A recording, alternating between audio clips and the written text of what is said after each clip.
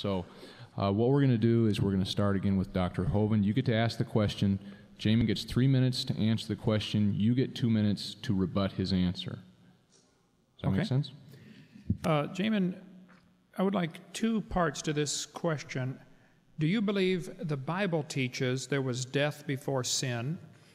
And do you believe your frame of reference, your worldview, your old earth theory teaches there was death before sin? So, was there death before sin? Or why is there death in the world? Might be another way to phrase the question. According to your worldview and according to Scripture, how, do you think they're both the same? Go ahead. Well, thanks. Um, I found this question to be very thought provoking, and, and uh, as I was, and of course, it's one of the big questions that Christians are asked all the time. So we need to, to have a good answer on this one.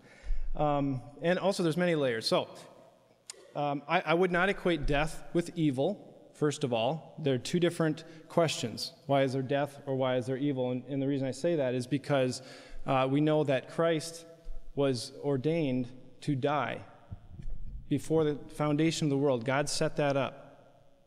And that was a profoundly good thing. So I would not say that death inherently is bad. In that case, it was a very good thing. There are other examples. However, death and suffering um, did come into the world by sin, and I, I, but I would specify that human death, uh, there's two different kinds. There's spiritual death, which was a natural consequence of the fall, and then there was physical death, which was the judgment when God took away the, the tree of life. Right? So, spiritual death in Romans 5, it says spiritual that death came through sin and spiritual life came through Christ. So, it's spiritual death we're talking about. Animals, on the other hand, um, I don't think this applies to. Um, I don't think God made any mistakes in his design. I think that he or he created carnivores to eat, eat meat and he created herbivores to eat um, plants. So I think that's part of his very good creation. And I think that creatures that don't have a spirit uh, are not created in the image of God. It's not inherently evil for them to die. I think that's part of God's natural order that he created, um, as opposed to human death. He didn't mean for humans to physically die. That's why he gave them the tree of life. So. Well, okay. Yeah, I get two minutes. Let me just take one and let him take the other one for an answer. Do you believe then when God said in Genesis 1:31 at the end of chapter 1, God looked at everything and said it was very good. When he said that, at that time Adam was created and at that time was Adam standing on top of thousands of feet of, of dead things, fossils, and was Adam seeing the animals, you know, tear the guts out of each other uh, in around him, like the lion tearing up the zebra? And God looked at that and said it was very good. You're telling me God said that was very good. Again, yes, I think that his creation was exactly the way he intended it to be. I don't think there was any mistakes in it. I think that the design of uh, carnivores was exactly exactly what it should have been. Uh, lions would have a hard time digesting grass, and uh, you know sharks would have a hard time eating seaweed. Their bodies aren't made for it. So I do think that that was the way God intended it, and because they were not created in God's image, I don't see that it's inherently evil that they should have uh, died. I, as to the garden, I don't know how the garden was set up, other than it was paradise. So I do believe that the Bible, that the garden, right now, is the way I believe is the garden uh, did not have death in it. God uh, segregated it. Well, if I can continue, did when God the Bible says God's going to restore it like it used to be someday, are we going to always see the death and suffering of animals then? Is that going to be the restored to the, be the very good again? It'll just be human death? My point is, I think you have an inconsistency in your theology that I think you need to look at. Okay, can, so uh, you think, okay, so the question I'm- is when well- things are restored. Yep. I'm, I'm going to ask that uh, you've had your three minutes. I'm going to ask that, that you address his answer for two minutes. He- He's got to give a question now, right? What's that? Then, he- then he'll get to ask you a question, or you can ask another question. Uh, another question? Uh, no, I'd, I'd like to have you address his answer for two minutes. yeah, I think his answer theologically is, is totally wrong. I think that uh, the Bible teaches clearly there was no death, a man or animal. I think uh, you'd have a hard time proving from Scripture that plants uh, die. If you can get my screen on there, brother. I've got quite a few. Uh, I think I can demonstrate pretty clearly from. Uh, nuts. Got the wrong. Okay. Um, let's see. I got to the wrong one. Was there death before sin? Never mind. You shut it down. I don't have the right slide up. Um, I go through seminar part six that uh, I think plants wither, they fade, but it's, it's pretty clear that uh, there's a distinction between plants and, and animals and humans. The Bible clearly talks about humans and animals being alive. It never talks about plants being alive. Uh, they fade, they wither, uh, but they, they don't die. My computer can die, but it's not alive. Um, a car can die, but it's not alive. So I think that uh, there's quite a, an inconsistency in theology to say that there was a uh, there was death in the world and it wasn't brought here by man. The Bible says in Romans chapter 8, the whole creation groaneth and travaileth.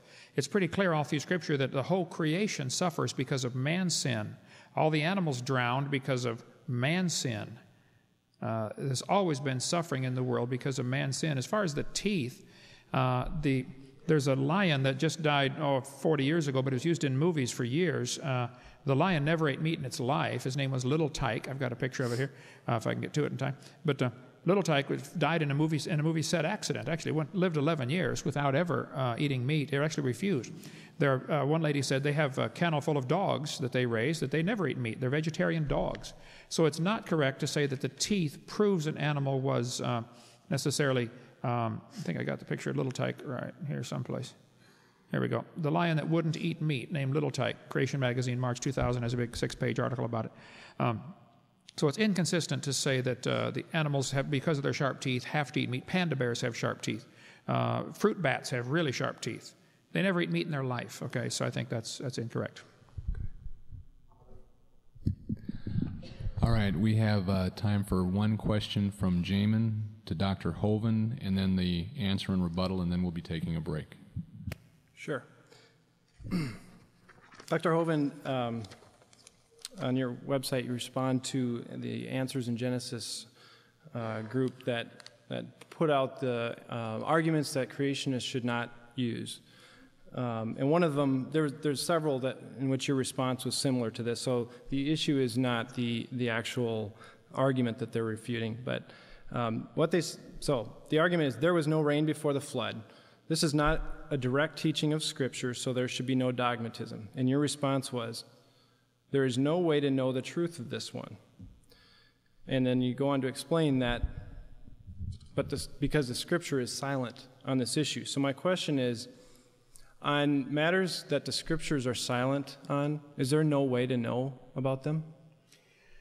Okay, no, there, there may be ways to know. I love science. That's what scientific, uh, scientific uh, explorations are for and scientific observations. But uh, this, as far as was there rain before the flood, I think my point was the Bible mentions during the creation week a mist went forth and watered the garden. It's never mentioned again until all of a sudden it rains in the days of Noah. The assumption is that it never rained until the flood, but I, I think it'd be impossible to prove that from Scripture, is my point. So I think that we could look at scientific evidence uh, and discover many things that the Bible is silent about. The Bible never mentions computers, never mentions cars, doesn't mention a lot of things. That doesn't mean, you know, they don't exist. Um, so, but I think there are things the Bible is so clear on, like the age of the earth. In six days, the Lord made heaven and earth. Uh, Adam brought death into the world. I think the Bible is so clear on these topics that it's not a matter of the Bible silent and we have to guess what we believe. The Bible is clear and we have to decide what we believe. That's my point. And then my response would be um, Can you show me, or is there a place where it actually says that um, the creation days were 24 hour periods?